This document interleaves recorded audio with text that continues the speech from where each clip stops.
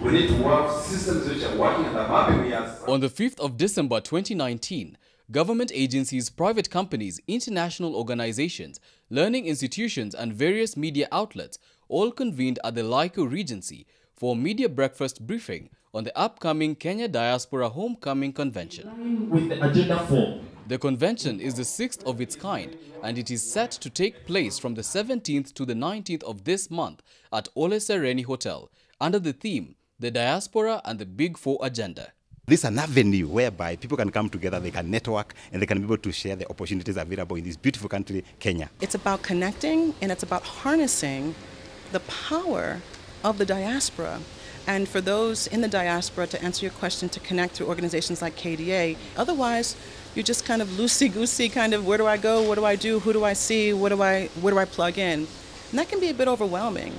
This annual go-to event is the brainchild of the Kenya Diaspora Alliance, a federation of 42 diaspora associations with a combined nominal membership of 250,000 Kenyans. Part of what we do mainly is to rally diaspora, empower them to the extent that we can, and uh, assist them, facilitate them to be connected with businesses, with government, both at the national and county levels, for purposes of socio-economic growth. Those expected to be in attendance include the Cabinet Secretary for Devolution, Eugene Wamalwa, the Cabinet Secretary Tourism and Wildlife, Najib Balala, the Austrian Ambassador to Kenya, His Excellency Dr. Christian Fellner, and the Danish Ambassador to Kenya, Her Excellency Mette Knudsen, among others. We expect also leaders from AU ECOSOC, uh, that's uh, Af Africa Union Economic, Social and Cultural Council. We're expecting leaders from Namibia, leaders from the US, some are already in town.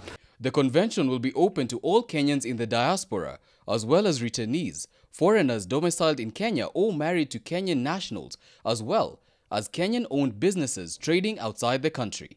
Charges, uh, it's uh, 5,000 shillings per person, those who pay up front.